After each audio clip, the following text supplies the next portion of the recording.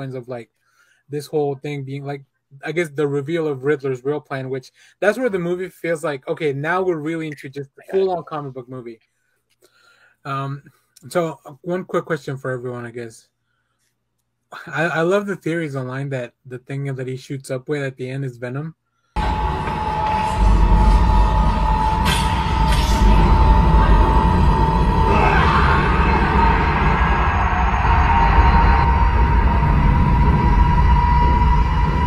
I thought that too. Actually, I, that too. totally.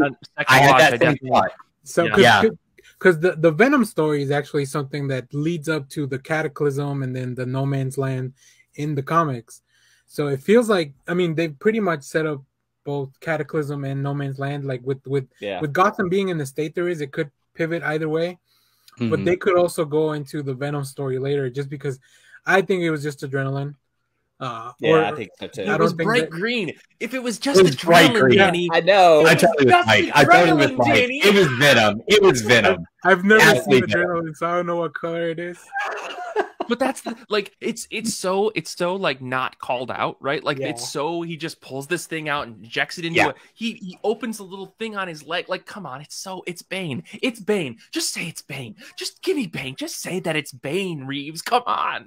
Man, that's yeah. a bold move though to go after a character that was done so well by Tom Hardy. I mean, because I think Bane Schumacher. Yeah, yeah, yeah. I mean, he, really, that Bane stands out as probably the best portrayal of him, and what he stands for is pretty great. But then again, that would yeah. fit in this world of what uh, people are fighting for. Mm-hmm. I just find you know, it neat that in both Moon Knight and in Batman, uh, the millionaire playboy personality isn't what anyone wants anymore.